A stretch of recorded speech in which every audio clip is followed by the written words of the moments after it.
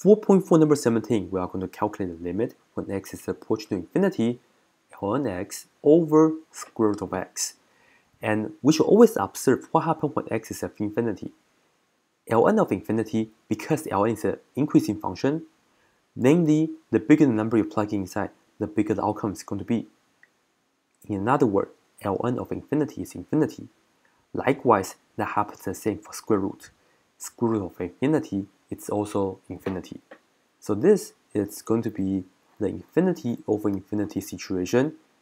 And luckily, we can use L'Hopital's rule as well, which means we are allowed to take the deriv derivative of the top and the derivative of the bottom and then compare their derivative and do the limits. So this is the limit when x is approaching infinity. L, derivative of ln x is 1 over x. Derivative of square root of x is 1 over 2 square root of x. And now we end up with a complex fraction right here. Let us multiply everything by the lowest common denominator of the small fractions. Namely, I have to multiply 2x and square root of x together. So I'll do that on the top, and I also do that on the bottom. 2x square root of x. On the top, this x and that x will cancel. On the bottom, the 2 cancels, the square root of x will cancel. So, altogether, I will have the limit when x is approaching infinity. On the top, I have 2 square root of x. And on the bottom, I just have an x. And then there's another note that I have to make.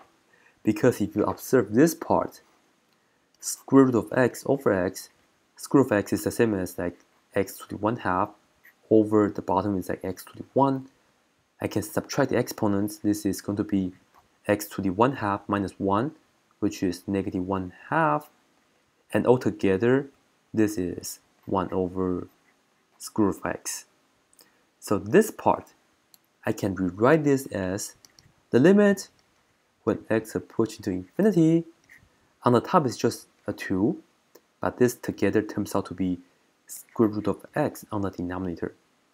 And now, imagine that if x is approaching to infinity, alright? We have to talk about it. Square root of infinity is going to be infinity. So this right here, the 2 is just on the top. It's a finite number. Over the bottom is going to be incredibly large. 2 over a huge number like an infinity number, altogether this is 0. And this is pretty much the answer. That's the answer, right? This is 0, and that's the answer for the original limit questions.